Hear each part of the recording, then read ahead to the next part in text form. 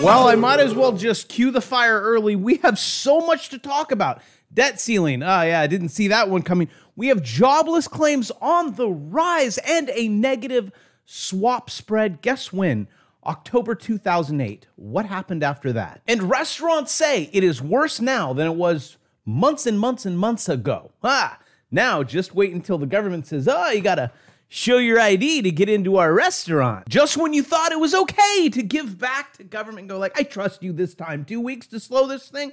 Okay, we'll come together. And then governments wipe out half of the economy. Businesses, half of them on Yelp are like, poof, gone. And now the government is coming for the rest of the businesses that survive. They're like, it's okay, trust us. We're the government.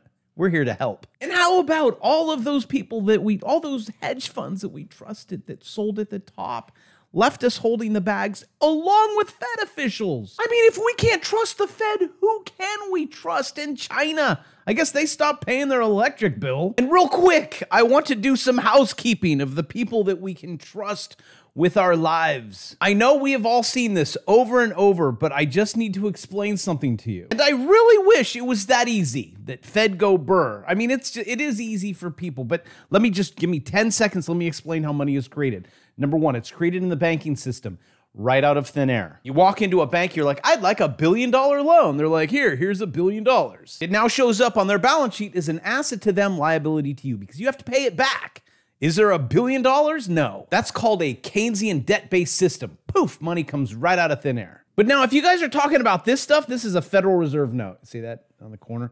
I don't know if it's zoomed in. Federal Reserve note. These are just sheets of paper. There's actually really not too many of these. This is not money. It is just a green sheet of paper. So now I've covered where does money come from? The bank. Also, there's no reserve requirement, so they don't need to like, oh, you need to have so much, you know, currency or digits in the bank, and then they can loan out more. They can nope. You want a billion? Here's a billion. But now, what does the Fed do? They sit there and they have to wait. Well, what are they waiting for, Bravo? Come on, let's get this thing going. They're waiting for the Treasury. But then they have to wait for the bank, so the Treasury will create a bond. That's it, sheet of paper. Look, Fed no burr yet. Okay, so they create a sheet of paper. It's the Treasury. Go get Janet. She creates a sheet of paper, a bond.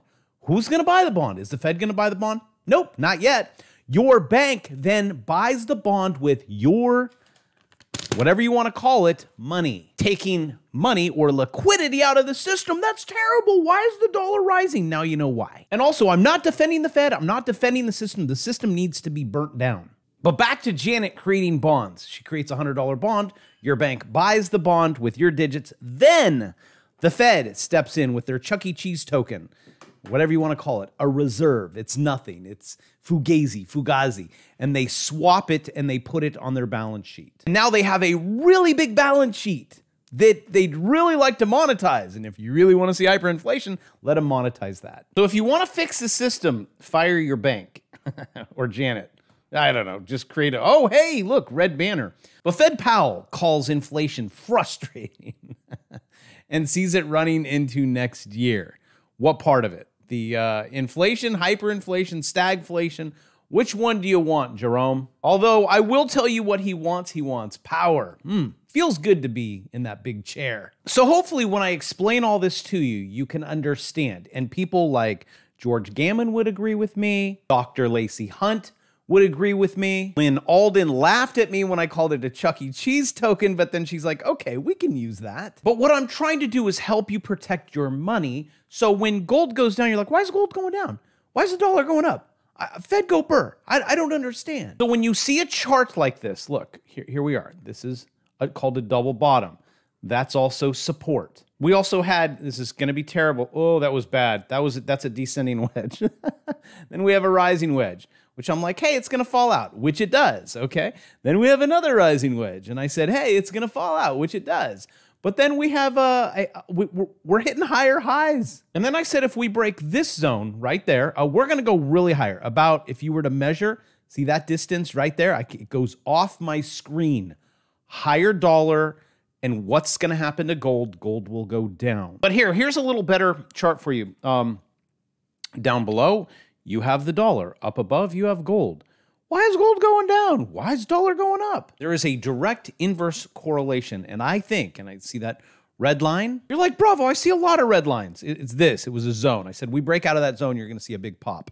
Well, guess what? It popped. Also, if you are interested, I'm currently filming a course. I'm about 20 something videos in. It's $200. I have limited codes down below because as I'm filming, uh, just if I need, I make a mistake, you're like, hey, I hate that background music, I can remove it. That's why it's only 200. But I will teach you all of this, how to trade the, these lines. That way you're not a bag holder for people on YouTube that, uh, and I've had all these people on. I've had a lot of very prominent gold guys, silver guys, stock guys on my channel, and they're like, here, hold my bag. I just want you to be wise enough to go, not this time. And you could do this with Tesla, you can do this with anything. And, and these people will tell you, one time big Tesla bull, right? Chamath. He says, uh, oh, wait, he sold his position. What? Wait, so did Cathie Wood? Wood did too. And some of you are like, do TA on Tesla. Okay, I, I just did. Look, hey, do you guys see a double bottom and support? Look, there's your support. One bottom, two bottom. And please don't ever trade with this line style. I just do it for the tube so you can see it. Hey, you see a rising wedge? So do I. Are we going to come down? Yes, we will. Is it a gr- great time to get out? Absolutely. We, you get about 80% into that apex, it's going to drop, fall out of that wedge, and then you could buy it more at the bottom if you choose to. Now, let me turn on another indicator that helps you know are we in a bull market, bear market? We're above, it's the blue line, above the 200, bull market. And here's the 50 day moving average, still bull market. Now, is there room to the downside on Tesla? Absolutely, but we sell at the top, buy at the bottom. And let's take what we've learned and carry it over to the S&P 500. Uh, double top, head and shoulders, right here. I called it. I said we're going to drop. We break that line. That's where you put in a short all the way down until you hit your target. And now you might be asking, well, are we in a bull market or a bear market? Now, I'm not calling a bull or bear. I'm just giving you the probabilities. Look, are we under the 50? Yep. How about the 200? Yeah, we're racing toward it.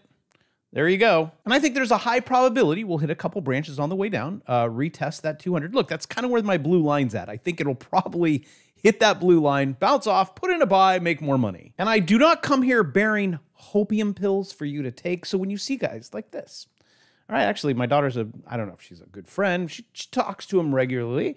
So when he comes out and he's like, oh, you know, Bitcoin and do this and do that, you could pop on over to the Bitcoin chart and go like, yeah, okay. Which thank you for asking. I'm like, here you go. Let's see. Did you learn something?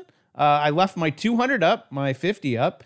Uh, guess what we're in? We're in a triangle. Uh, this actually breaks uh, bearish, but you got room for the upside, and you are in a descending or a falling wedge. You see this right here? Falling wedge. We're going to break out of that. We'll probably break up, probably test that. If we come above that, yeah, okay, I'll put in my buy order. And by the way, I have never once called uh, Bitcoin bear market.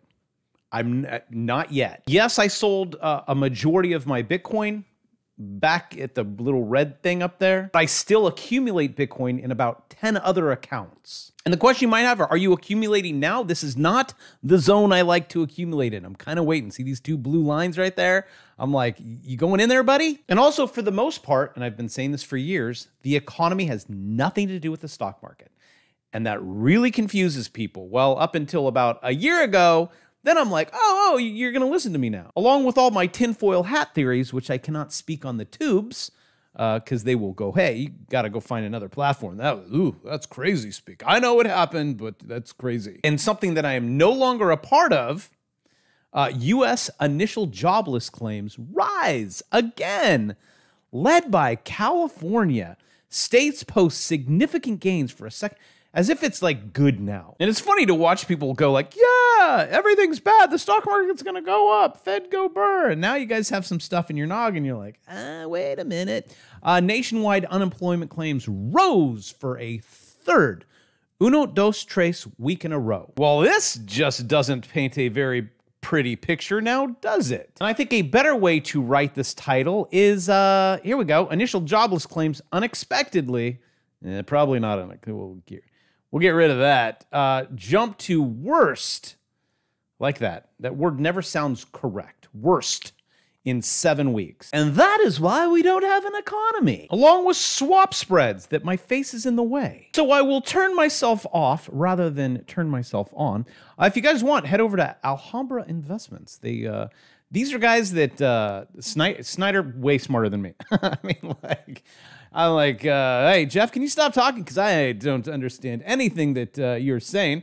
Uh, but basically, what is happening, if you can see here, here's 2007, 2008, we went negative. This in textbooks, this, this area right here should never happen. Basically, what that is saying is the US government is a larger credit risk. The US government's larger credit risk than the financial market. Put that one in your sippy cup and suck it. But we jumped out of it in September uh, 2013. Like, hey, maybe it's not that much of a risk. So when it comes to the economy, this is good. These are good conditions. Above the line, you, you got an economy. We're, we're healthy. Below the line, no, we we not so healthy. Also, if you want to see really unhealthy, let interest rates rise. I mean, they already are. And you know what's happening with the housing market? People are like, oh, I think I'm doing a video on that on Sunday. Oh, no, I don't need that. Oh, that's expensive because people don't buy the house, they buy the payment. And also now people are like, wait, how is interest rates rising when the Fed hasn't done anything? That's really weird. Yes, because the Fed just chases what the bond market does. The bond market is the king. And if you guys want to see deflationary, which I'll show you hyperinflation in just a moment, and stagflation, uh, let those yields rise. It, it, goodbye. Which you are seeing, here's your 10 year yield. And if you look at this chart, you can actually look. Oh, let's do everything that I've taught you. See if you can do it again. See your double bottom? Oh, very good. Congratulations. You're like, that's a rising wedge. Well, not so much. When you measure this thing, see, it's it's like that. Ta-da! And it broke out. And you see what I said earlier? We got about 80% to that apex eh, right there. And please don't ever share this with any Forex trader friend of yours. They'll be like, wait, he draws with crayons? Yes, being a high school teacher and college professor, I try to make things simple and reinforce, which rhymes with course. And the minute you say that, people are like, oh, scam. No, I, te- I I'm a teacher. I mean, if you want, you could take my university class for $7,000. I mean, I think 200 is kind of a bargain. I actually, I'm thinking I should probably go teach at, uh, at Texas, UT. So if there's any university admin in my audience, if you want me to teach a class once a month, I will do it for free. Well, that is unless you tell me I have to wear a mask while I am teaching, then I will not do it. But now on to hyperinflation. Actually, this chart I, I, I myself so you can't see me. Looks deflationary, right? Yeah, when the government doesn't do anything, like stay out of it. Then they go, hey, let's uh, let's all lock you guys in. Uh, here we we'll solve this thing. There you go. Uh, for Deutschland, Dutch. Uh, hey, you guys know a little bit about uh, hyperinflation. UK, maybe not so much. I am uh, sprechen Sie Deutsch. Uh, I know what it, I know what hyperinflation is like, and it looks something like like that. Yeah, there you go. And uh, I'll tell you, China is like, we are not having this, and they are putting their foot down. China panics. Beijing, I said that terrible. Sorry. Orders energy firms to secure supplies at all costs. I like that. Ew, at all costs. Uh, China is officially panicking. Well, China, you started this. We didn't start the fire. I don't want to sing too long because YouTube will demonetize. All right. So take a look. China orders to secure energy supplies at all costs bounced right off my hair. And hey, China, you want to know how to fix this? Here, I'll help you. Uh, do nothing. Hey, US government, you want to know how to fix this? Do absolutely nothing. Let the wheels fall off of this bus. The wheels on the bus go round and round, round and round. And actually, looking at this chart, I could have, I'm in the way. You actually have a sweet little head and shoulders pattern there if I were to flip it around, but I'm not going to. That would have been your price target right about there. And it looks like uh, support turns into resistance. Resist somehow. Dang. Looks like he got support there. But what are we to do, Bravo? Well, sell the kids, sell the wife, sell everything, run. Uh, we're not going to make it out alive. And what rhymes with alive? Let me see if my subscribe. Hey, right on. Thank you very much. And I will see you tomorrow because I work every day of my life and I don't even have to.